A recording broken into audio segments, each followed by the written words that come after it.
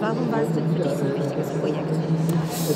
Na, mich hat das Thema interessiert. Ähm, also ich äh, habe äh, schon immer so einen gewissen Bezug zu Chile gehabt. Ähm, meine Eltern waren ähm, Ende der 70er da auch sehr engagiert. Wir hatten Exil-Chilenen bei uns zu Hause, sie haben zum Teil bei uns gewohnt, eine Familie. Das heißt, als kleiner Junge habe ich äh, viel mit Chilenen zu tun gehabt. Natürlich zu früh, um die Dimension dessen zu kapieren, was da los war in dem Land. Ähm, aber das Interesse an dem Land hat sich gehalten und der Bezug familiär und auch sprachlich.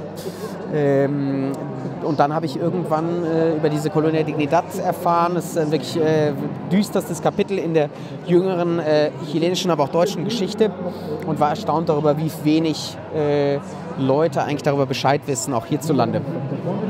Und äh, insofern war ich gleich angefixt, als äh, Florian dann mit dem Drehbuch ankam.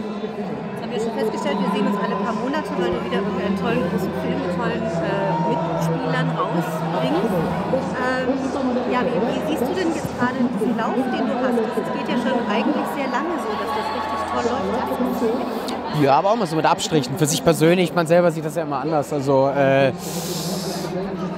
ich bin, ich, bin, ich bin schon wahnsinnig glücklich darüber, die Möglichkeiten, die einem geboten werden, aber ähm, es, es, es, äh, es, bleibt natürlich immer äh, schwierig, äh, äh tolle Geschichten zu finden. Also äh, das Kino äh, erlebt schon äh, harte, harte Zeiten und es ist auch schwer, mit äh, einem bestimmten Kino Leute noch zu erreichen. Ne? Also der Kampf bleibt bestehen und deshalb äh, finde ich es wichtig, dass man äh, auch das deutsche und das europäische Kino auch verteidigt und da weiter äh, aktiv ist. Aber einfach ist es nicht immer. Das mag dann so wirken, aber ähm, das ist schon es bleibt schon auch steinig und, und schwer.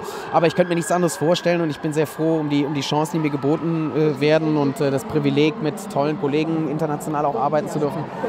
Ähm, und deshalb macht es auch Spaß, weiter daran zu arbeiten und bessere Filme zu machen und äh, weiter noch zu lernen.